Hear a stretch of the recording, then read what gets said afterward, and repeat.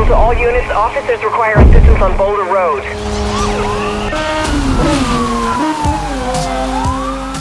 Hey guys, welcome back to Cataclysm Studio. I am your host, Gamertag Apocalypse. Today I will be reviewing Need for Speed Hot Pursuit on the Xbox 360 and the PC. So guys, let's get down with the review. If you were a big fan of the original Need for Speed Hot Pursuit back in the late 90s, this game is definitely for you. Published by EA and developed by Criterion Games, this may be the smartest thing EA have done for the franchise. With the success of Need for Speed Shift, EA had basically had to look for another way for the arcade version of the series and avoid being overshadowed. Bringing in Criterion Games, developer for the long-running Burnout series, could possibly change Need for Speed in general. So guys, let's talk graphics for a second here. This game looks gorgeous, adds different shine for the series. If you are a big fan of the Burnout series, some of the visual goodies will probably remind you of somewhat very familiar. Though the game is locked at 30 frames per second on the console, doesn't hurt this masterpiece at all. The cars themselves look awesome, backing it up with some cool special effects. If you are on the PC, actually on the PC side of things is really good. Um, if you had a you know DX11 compatible video card or a system in general, this this is gorgeous just on a PC. Uh, it, it is definitely worth it. And I know a lot of PC gamers don't play a lot of racing games, but this game is a definitely must buy. So guys, let's talk sound for a second. Uh, this is where the game actually shines bright, because uh, sounds like I'm repeating myself like a lot when I do talk about sound on my reviews, but Dolby Digital support in a video game is a must for now, like nowadays, you know. And this game does deliver. If you are a home theater enthusiast, you will not be disappointed. Not only car the cars sound good, but the ambient sound and the environment and the slow motion crashing sounds good sound good too. You know, what's also great about this is the Need for Speed. It's EA, so EA, EA does not disappoint with the soundtrack. Soundtrack is really cool. You could change it up actually by hitting up the RB button. So basically you can scroll through um, through your playlist there. So it's sounds really amazing. Soundtrack is is top notch. So guys, let's talk about gameplay for a second here. Um, this game is definitely the ultimate crossover and it's done un uh, unintentionally. You know, graphics of a Need for Speed and gameplay of a Burnout. Tight controls, drifting in this game is heaven. On some cars, that is. You know, uh, this is the only game where being a cop is actually fun.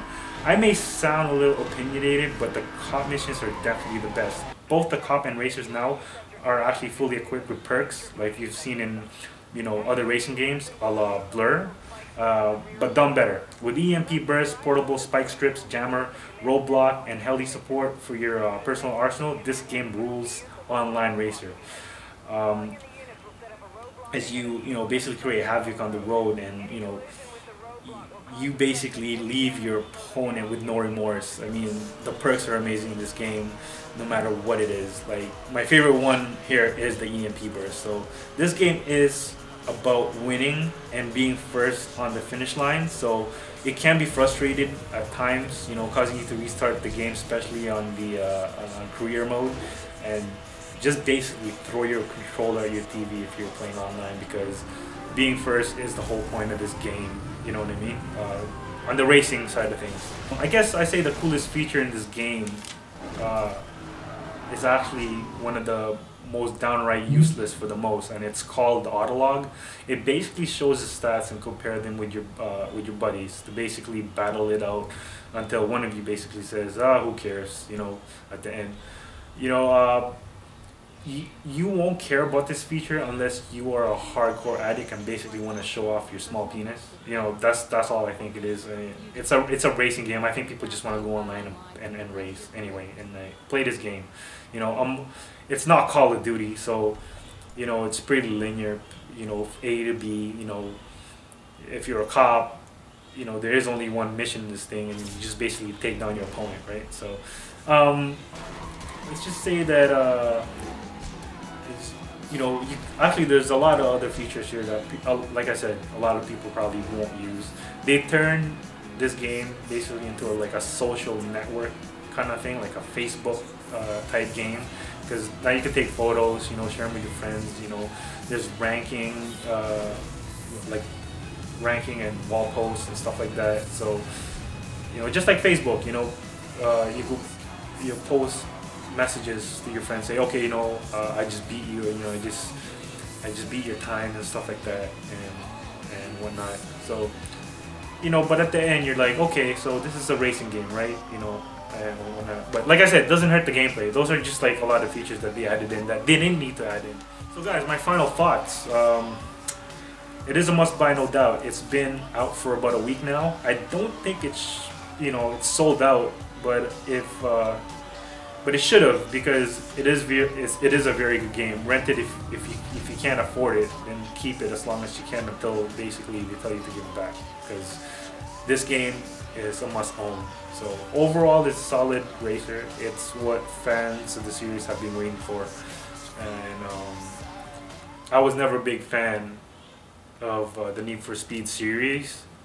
Right after uh, uh, the last Need for Speed Hot Pursuit, I think it was called Need for Speed Porsche Unleashed or something like that.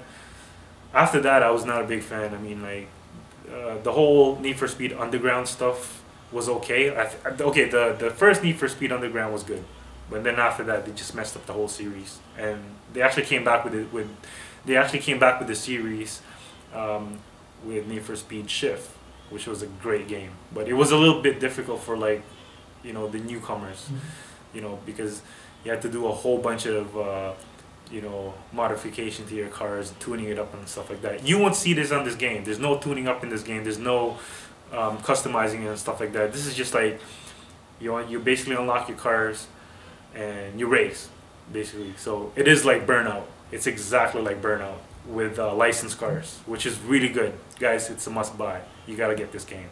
Alright, so I am your host, Gamer Tag Apocalypse for Cataclysm Studio. Game on, guys.